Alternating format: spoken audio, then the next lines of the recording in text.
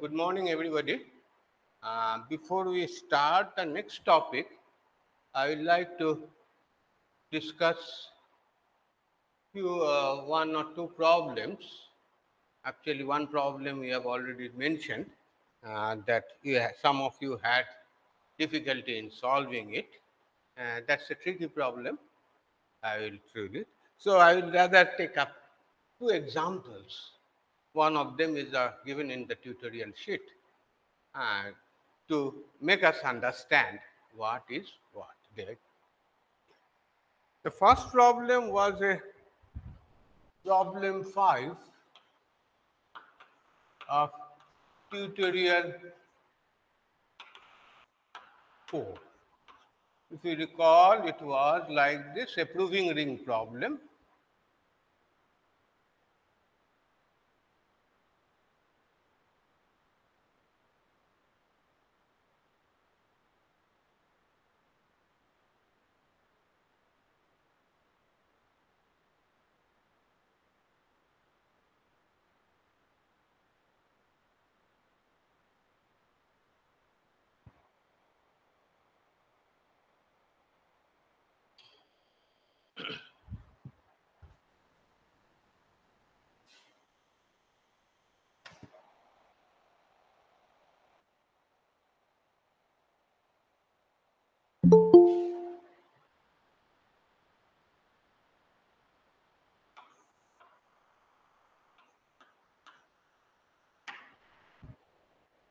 That means two proving rings were placed on a platform which is basically fixed.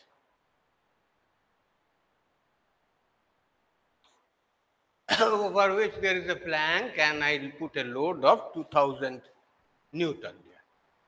And we know the proving rings have got, each proving ring is equipped with four uh, strain gauges.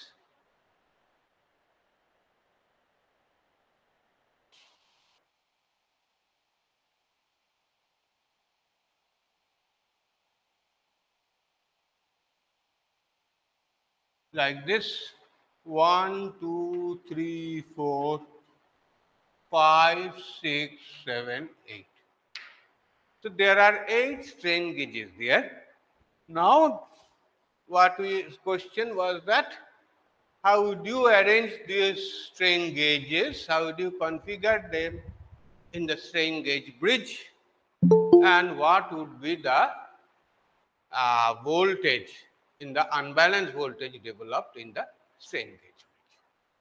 So for this one, if we what we have is that uh, some relationship. So first of all, we know that in this case, the outer one will experience the positive strain, where the inner ones will experience negative strain in this compression. Okay. So, because as I told, uh, the A there, if you are trying, if due to the strain, it is going like this, so the outside will be experiencing positive expansion at the inside will be the negative expansion. So what it was, the strain developed this epsilon for each case. So epsilon plus, minus, plus like this. And this epsilon is given as 1.08 into F into R divided by Y B T square. That was the expression we had seen and those values are given. So definitely we can say also that each for each proving ring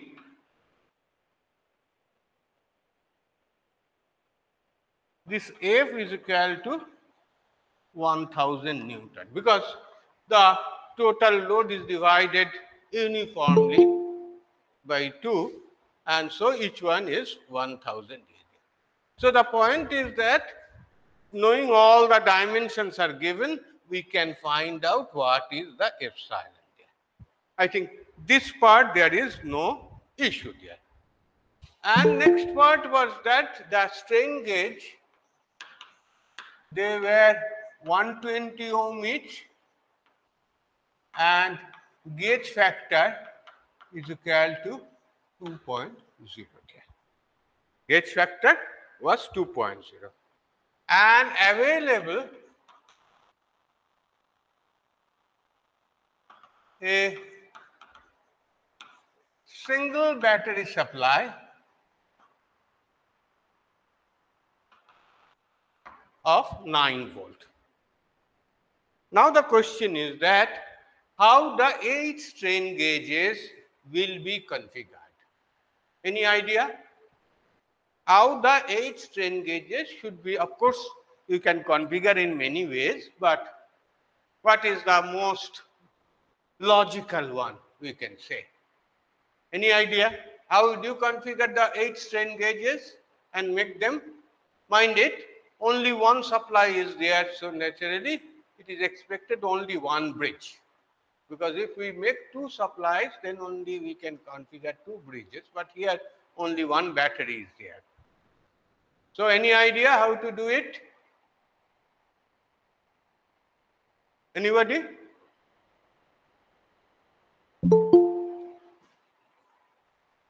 Anybody, any idea? So same bridge parallel uh, resistors. Same bridge? bridge. In the single bridge, we connect them parallelly one after another. Ah, basically, we have a single bridge. Instead of parallel, we can have series also. Huh? So, what we can have is that 1 and 5, both in 1 are in series. You can do it parallel also. As I told, there could be many configurations also. Next is that 2 and 6. Next is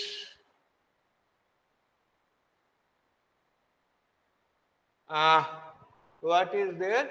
It should be 4 and 8 and this will be uh, 3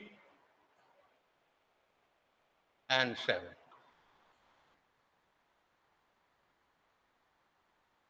And this is your 9 volt supply. Now my question is that, so I am doing it in series because parallel has a risk because it may be, the resistance may, may reduce, the current will be more or like this. Better to have a series also. Yeah. So my question is that, what will be the value of E0? Instead of 1, instead of using one gauge in each arm, if we put two gauge in each arm, will there be any change in sensitivity? If it is, how much? Huh? No, sir, I don't think two two. It will become two times two times. So uh, Exactly, because it would be 2 delta r by 2r. So naturally it is delta r by r. So each one is behaving as a single element uh, in for finding out the unbalanced voltage. But what we can say, if we connect 1 and 5 in series, we can gauge an average we can have because there these two strain gauges maybe the loading may not be exactly the same because depends upon at what point you put the load but if i connect 1 and 5 in series in this way like this we can have the average strain but definitely as you have rightly pointed out that two strain gauges we are connecting in series that will not increase the sensitivity. So what we will have it is that this E0 is equal to E by 4 into G. That was the basic expression and it was epsilon 1 plus G is the common epsilon 1 plus epsilon 2 plus epsilon 3 plus epsilon 4. So here we get 4 of epsilon. So this is equal to E g into epsilon.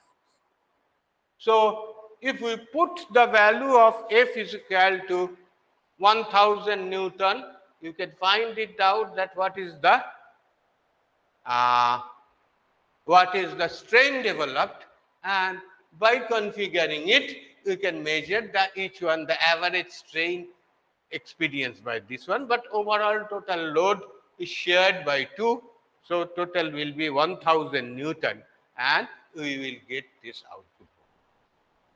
Is it okay? I guess I don't know who had asked the question yesterday. I hope.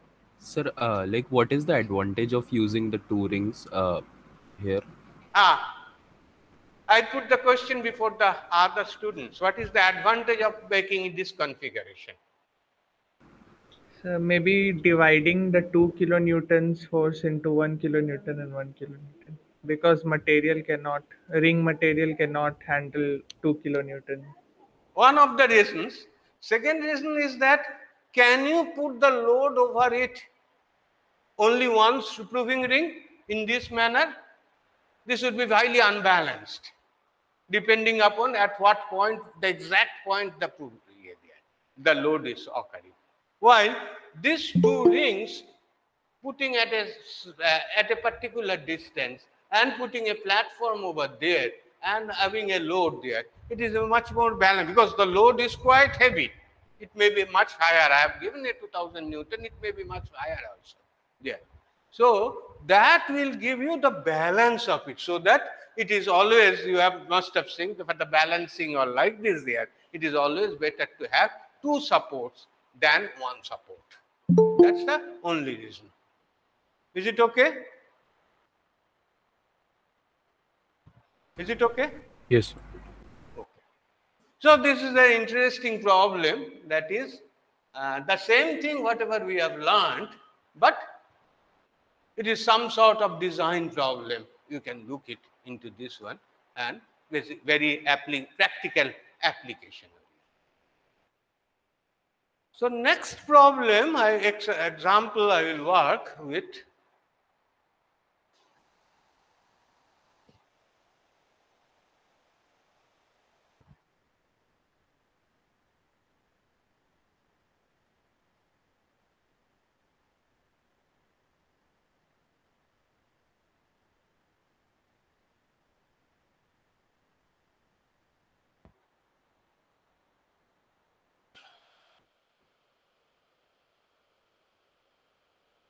this also requires a, little bit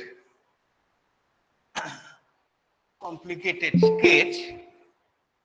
I hope uh, I will let me first draw it that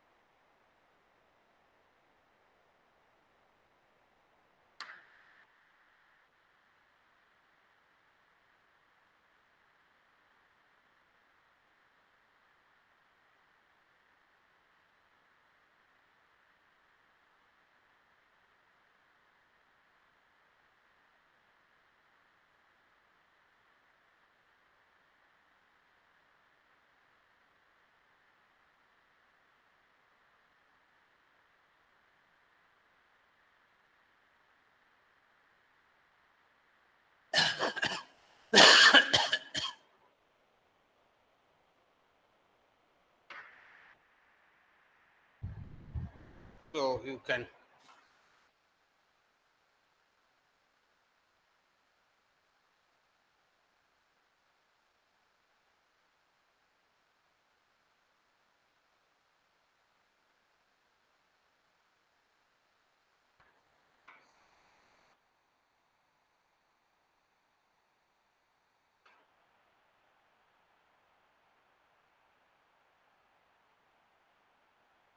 So, this gives you a cross-sectional view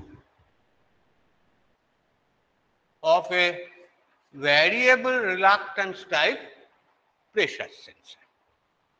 So, you can see it's an iron structure. There are two ports, P1 and P2.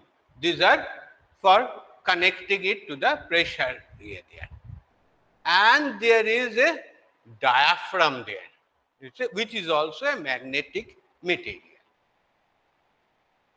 And there are certain uh, two windings connected. These are two identical windings, each of uh, number of turns is equal to n. And they are connected in an AC bridge there. So it is given that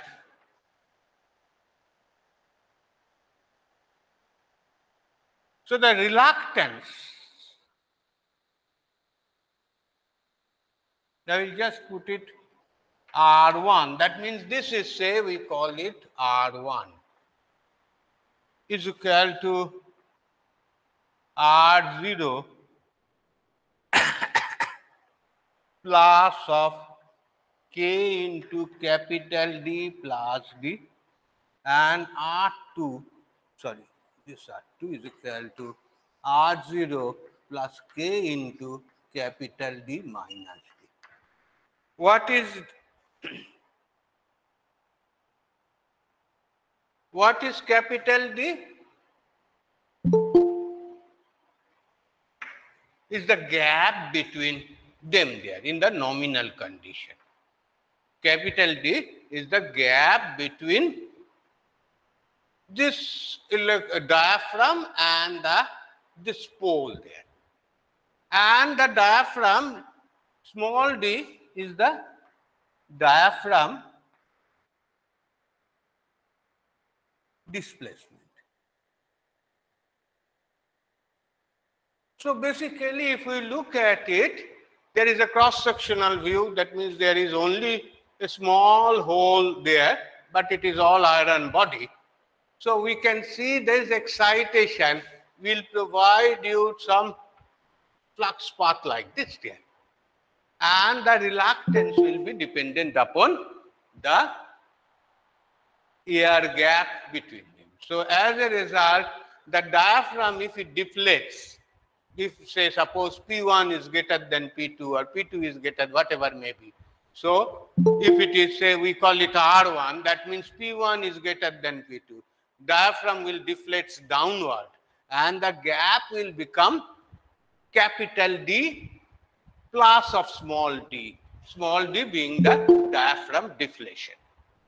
So these are the two things there, two reluctances R1 and R2 there.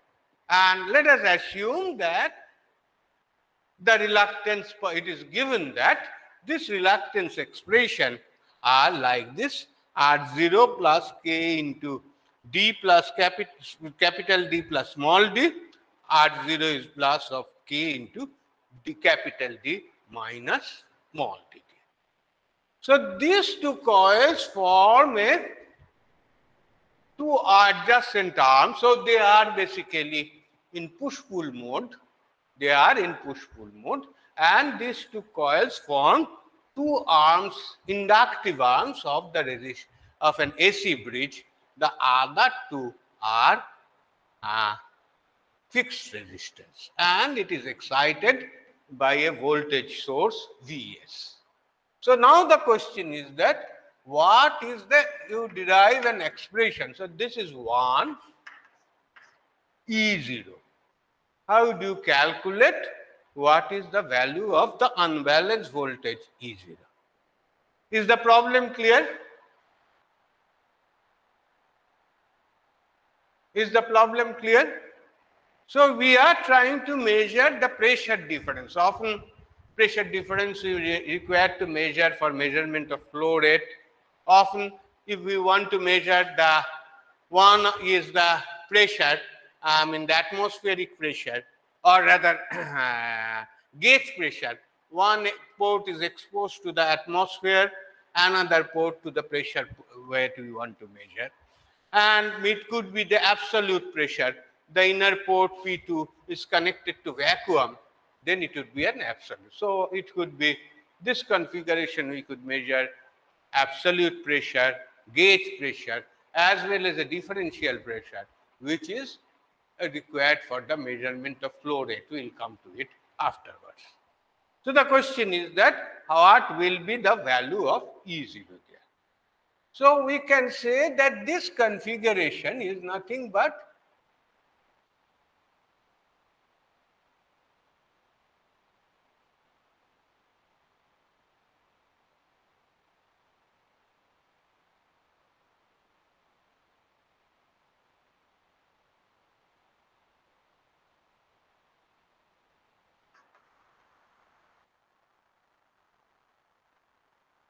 R into R.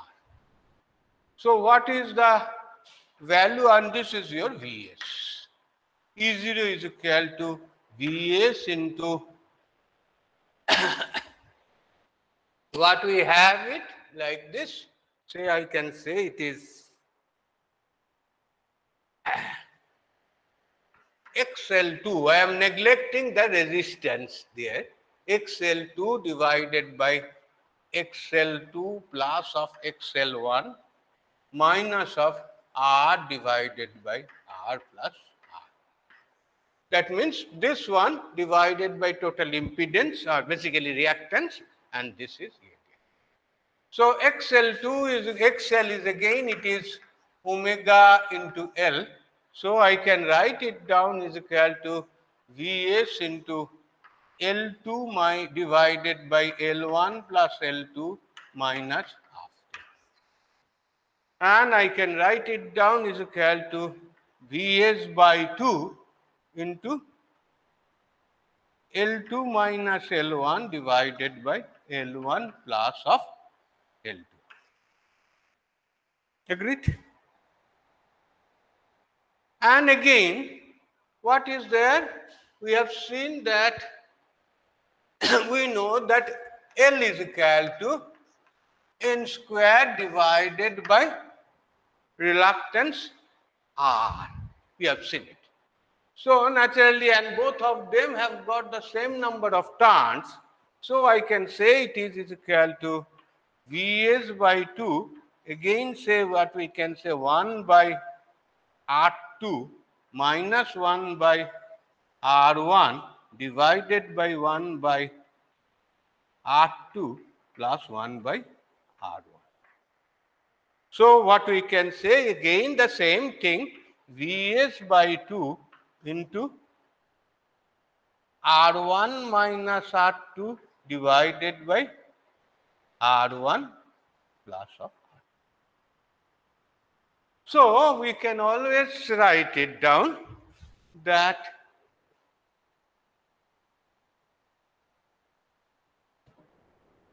because R1 and R2 are given there, so we can say it is E0 is equal to Vs by 2 into here it would be divided, you will get a 2D and here at the denominator you will get a 2K into capital D. Is it okay?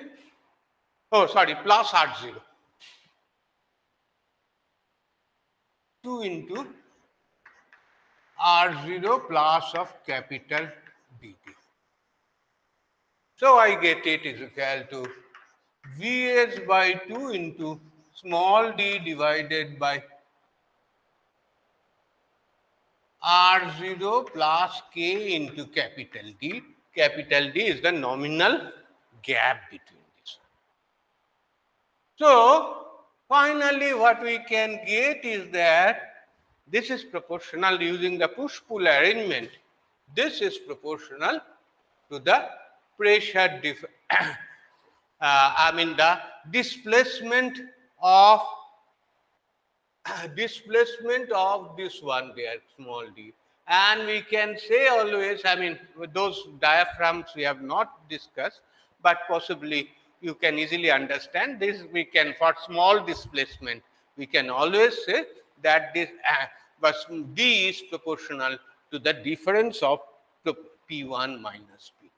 So d we can say, we'll come to this one, is p1 minus p2. So what we can say is that this one, this arrangement, the unbalanced voltage, if we measure, this will give you an uh, voltage which is proportional to the pressure difference between it. It's a nice arrangement indeed, but as I have told, uh, that it will be a little bit bulky, but still then it can be done. But there is another question in it. Can you say whether P1 is greater than P2 or P1 is less than P2? Is it possible in this configuration? Because we are measuring only the voltage here by using an AC voltmeter here. So, is it possible to say which one is more? Because we know uh, the DC bridges, if we measure the voltage, there is always a polarity and by which we can say which one is positive, which one is negative, which one is more, which one is less or like this. But in AC circuit, we often use a voltmeter that measures the RMS value only. So, is it possible to measure, say, whether P1 or P2, which one is more? Anybody? Any question? Anybody has the answer?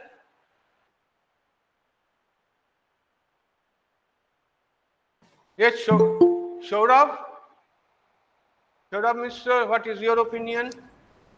I think, sir, we can't measure uh, like whether P1 is greater than or P2 or we can't say. It's exactly correct that we cannot say whether P1 is greater than P2 or P1 is less than P2. But often we require whether it is more or less. This information also we require. And that is important always and definitely we require some additional devices to measure whether is the P1 is greater than P1, P2 or P2 is greater than P1.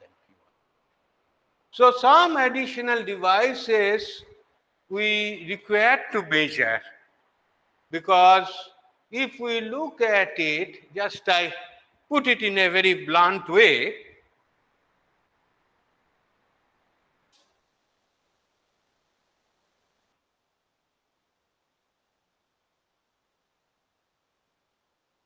that if I plot small d and if I plot E0, rather the RMS value of E0 or mod of E0, we can see the characteristics will be like this. On the negative side of D also, we'll have a characteristics like this. So if we go on changing and doing that one, you will get a characteristics like this, as a, like some sort of V curve. But there would be a small, some change there in this case because had it been in electric and DC voltage or DC bridge there, we know for negative D, there would have been a negative magnitude of the output voltage. There. In this case, equivalently we can say that the phase, there would be a phase reversal.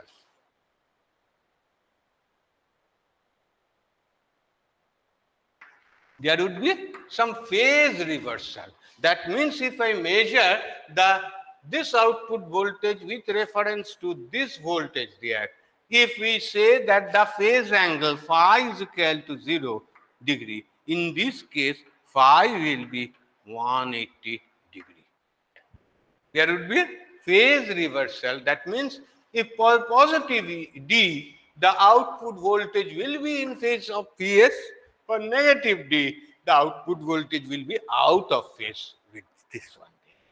And definitely, and that's a important information by which we can make it uh, a uh, which one we can understand and we can say whether the pressure uh, pressure is positive or negative or like this and we can do that but we need some sort of definitely additional circuits for this purpose where we need to have the information. So phase information is necessary and that's why additional what we call it afterwards we'll discuss it phase sensitive detector.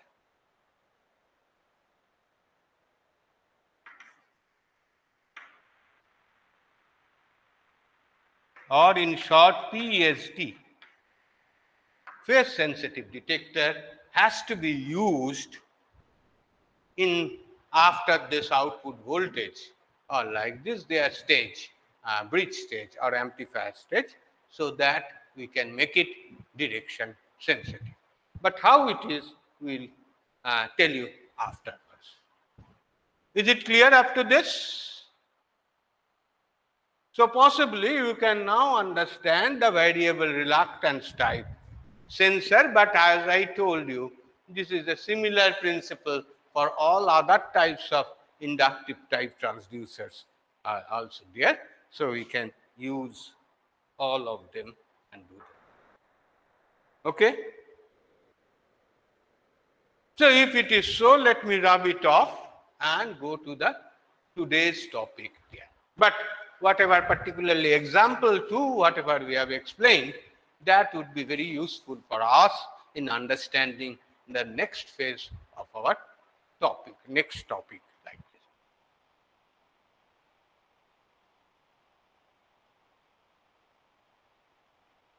this.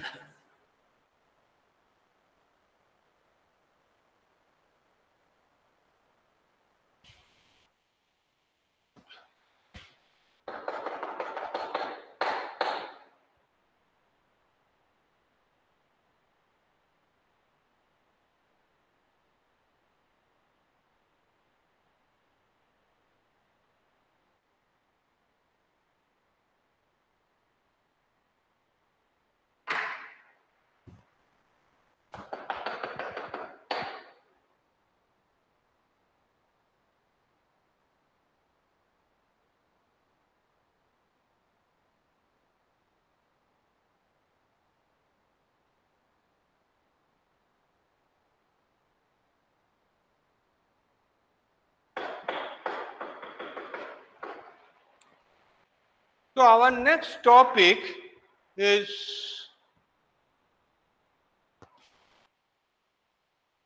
linear variable differential transformer. In short, it is called as LVDT. This LVDT, you must have heard that one. That's a very useful device for measurement of displacement on like this. And as you can get it from the name itself, it is a differential transformer type. And any transformer works on the uh, variation of the mutual inductance. So if we put it, this is as an inductive transducer, I mean, say, uh, transducer. So this will be LVDT is a variable mutual inductance type transducer. So that is a LVDT there. But LVDT has got several advantages and that's why possibly more popular compared to many other things here. So I just put some the advantages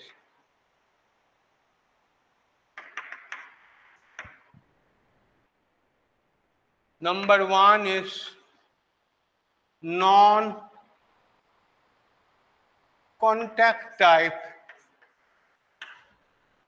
device, no friction. If we consider, compare it, so a displacement measurement with a potentiometer and a displacement measurement with LVDT, we will find that the potentiometer, the wiper has to come in contact with the resistance like this. And this is a contact type and definitely there is always some wear and tear due to it, some friction or some noise or something generated. On the other hand, LVDT, the moving part and the static part doesn't have any contact. So as a result, there is no friction and also similar to your LVDT, we do not have, I mean, uh, unlike LVDT, we don't have this sort of problem of noise due to this contacts and wear and tear and like this. Second is good linearity, no friction. Sorry, okay, no hysteresis. This friction we have already mentioned.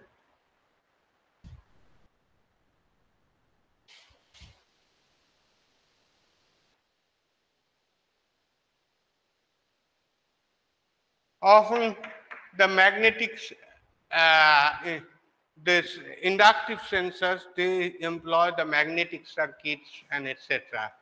So there could be always a hysteresis there, but this hysteresis effect is not there and it's very linear there.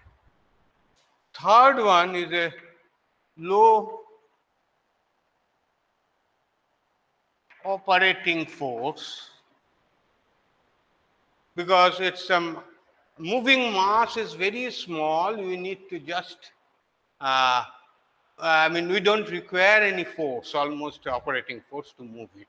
So it's a very, so naturally it can be made very small and the force required is very small.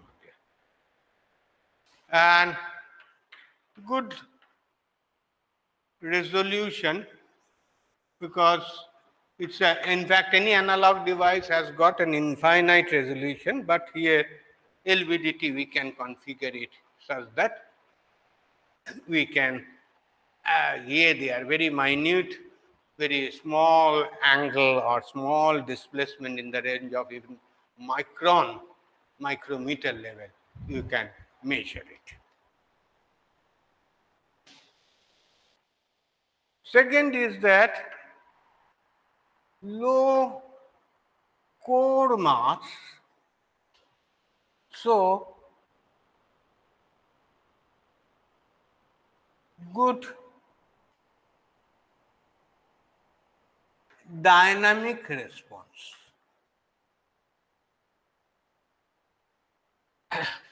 So, this core mass can be M can be as low as 0.1 gram. So this movements are some, what is the move, uh, core which is moving, I will show you afterwards. This has got a very small mass, so naturally it's a dynamic response is very fast. It has got a large natural frequency and like this there, and as a result, it would be a very fast you can have it here. So that is very important how fast you can have. So here it is available in small size. That is a major advantage compared to this one. Say it could be one specification. Don't think that it is the only specification. Say suppose one centimeter example I just put it. One centimeter long and maximum travel 2 millimeter. That means whole instrument is a 10, 1 centimeter long and the maximum travel is 2 mi- uh. So basically, in micron level, we can measure it like this in terms of, say, suppose uh, 0.1 millimeter or even less than that, we can get it. But it can, LVDT is of- obviously is available in higher size also. But I can say that compared to the other displacement measuring instruments or tra- uh, sensors, it is it can be very small there. And seven is that low output impedance because it's a transformer and transformer has got a low output impedance like that. So, a normal excitation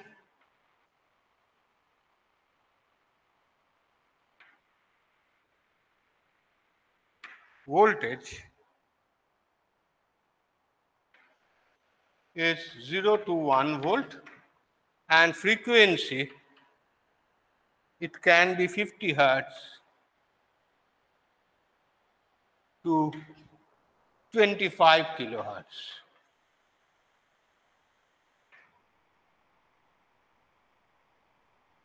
And another thing, I will just tell it, those things I will put it like this. Core material is annealed nickel copper, uh, nickel iron alloy.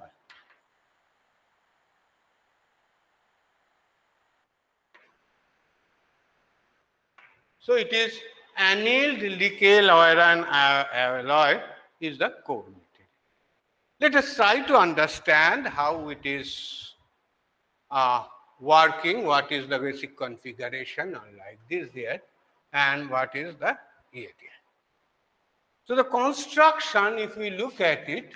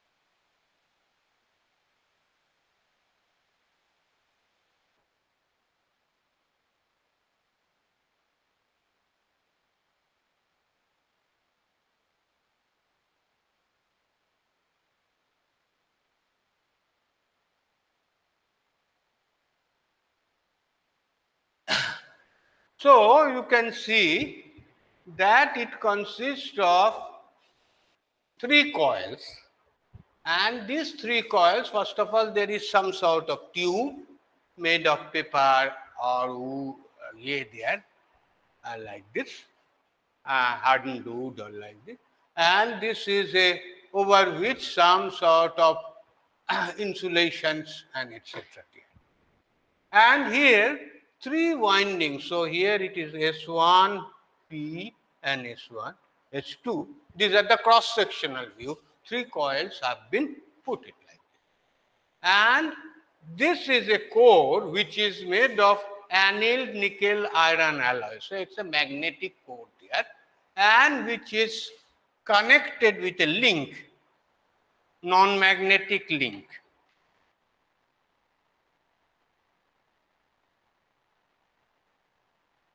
Which is moving this way like this.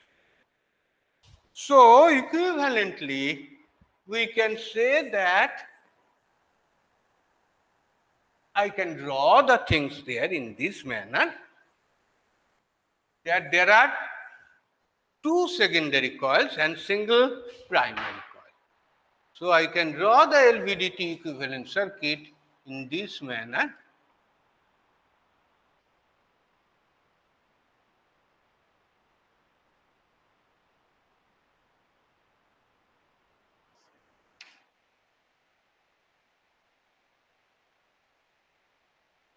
So this is your primary winding, this is your secondary winding, one, and this is your secondary winding, two. And this is your core. This is your core. And so the core moves up and down. So we can say this is equal to the voltage here is the ES1 and voltage here is that ES2. An important thing is also there that these two voltages are there and what we do is that we connect these two voltages, these two windings in series, but not in series addition, but in series opposition. That means if you recall the dot conventions, so we have got the windings are arranged, suppose in this way, that all the dots are mentioned. That is, a, they will, if I pass the current through it, it will generate some north pole instantaneously at this one there. So what we can say is that they are connected in series opposition.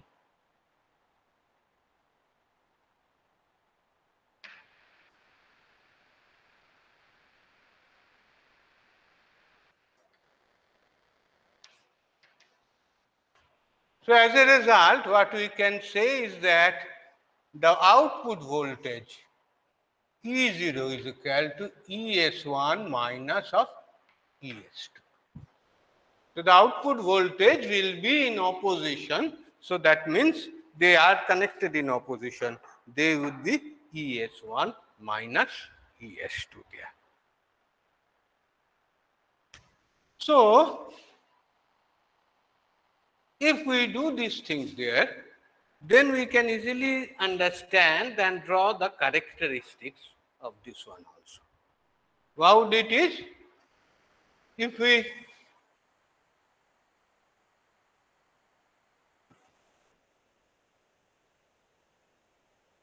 if I say the displacement x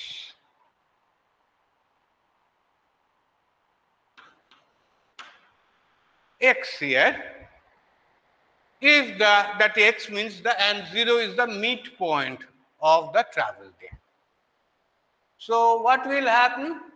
If I move it x positive, that means we move it up. What will happen? The ES1 will be more and ES2 will be less. So from the at the x equal to 0, ES1 is equal to, I can consider the ideal case, ES1 is equal to ES2. So what we get is that, and this point I call it E0. I measured the voltage with a voltmeter. Hmm. I connect a voltmeter and like this. So what will happen ideally when x equal to 0, this is 0 output voltage is 0. And as I move along this one, what will happen? More flux will be coupled with S1 and less flux will be, because this is the only coupling element. And less flux will be coupled to S2. As a result, ES1 will be more, ES2 will be less. And as I go it on increasing, it is a some sort of characteristics like this will get. And similarly, from the midpoint, if I go down, ES2 will be more, ES1 will be less. So again, the voltage, because as I told you, we are measuring the RMS voltage using a voltmeter there. And that, the polarity or phase, it cannot detect. So what will happen is that this will have a characteristics like this here. This will have a characteristics like this here. So it's a linear characteristics. So this is your E0 characteristics. And when x is greater than 0, it is like this. x is less than 0, it will be some sort of V characteristic. Obviously, uh, they are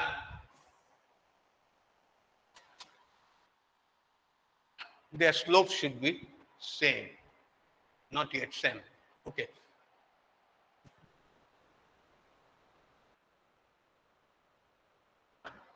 Okay, doesn't matter. But the point we can say that this is obviously a disadvantage that we cannot so we cannot measure in this case because negative and positive both because the point is that this is a uh, there would be confusion if we get some voltage whether it is positive or negative. But your one side we can always measure it uh, that is a and the characteristics is linear and you can easily appreciate the moving mass is only this iron core. It can be very small 0.1 gram also if, this whole thing can, can fix it in a very small package like this, and naturally it can be moved very fast. So not only that steady displacement, but we can measure very yeah, fluctuating displacements of the sinusoidal or any time varying displacement. But what we can only say is that since x is positive, ES1 is more and than ES2. So we can say the output voltage and say suppose this is Vs. So this will be in phase with Vs. If I say that there is a phi is equal to 0 degree, if it is negative, there would be ES2 will be more, ES1 will be less. So naturally, there would be a flux reverse, I mean the phase angle reverse reversal. That is a, here it is 0 to 180 degree. So we'll see here also the same thing what we discussed earlier. We require some sort of phase sensitive detector uh, to make it direction sensitive. We'll see it afterwards, we can do it. But this is a, uh, compared to the other displacement sensor. It is very compact, very small, you can have it and a very linear characteristics.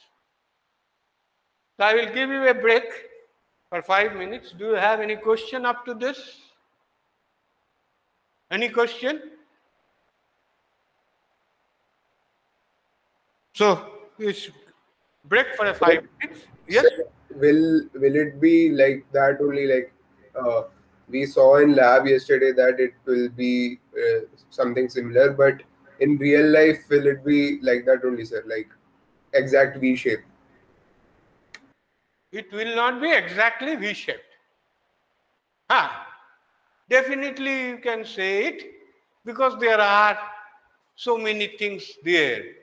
Because you see, once we go beyond this one, so what we will get is that I can say it, there is a limit beyond which it will not go. Because if I go, the core goes up like this, this will not be there. And there would be a limit by which we can go for it. And obviously it won't be exactly straight line that all designs upon the there. I will come to the non-idealities afterwards.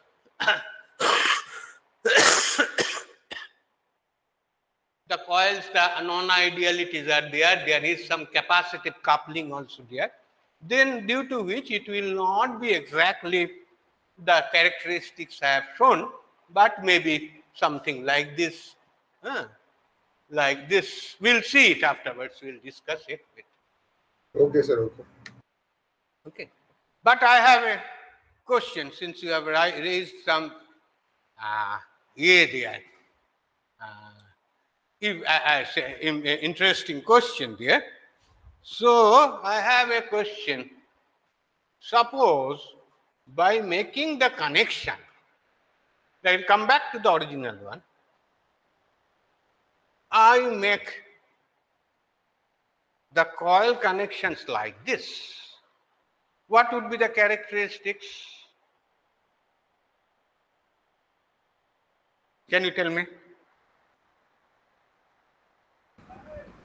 Sir, E naught will Constant. add up. Huh? So will it be a constant uh, E naught? Yes, sir. That's right. Because instead of difference, we are like summing up. Uh, to that will be like this and because if it's too far this will go flat like this here. so naturally that whether lvdt is properly connected or not because often we find that there is always the polarity measurement is sometimes very confusing or like this but you can easily see that whether it is properly connected or not by checking that display Okay, other issues which we have already asked, I will take up after I come back in the class. Thank you.